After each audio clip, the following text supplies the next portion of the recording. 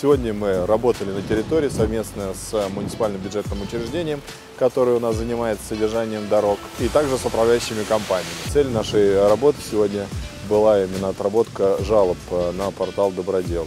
Много у нас было обращений э, по Чистопольской улице, по 40 лет октября, по Московскому проезду. И основная задача именно обеспечить э, безопасное движение наших пешеходов по тротуарной сети. Для этого мы обрабатываем тротуары противогололедными материалами. Самая основная задача наша – работать на опережении.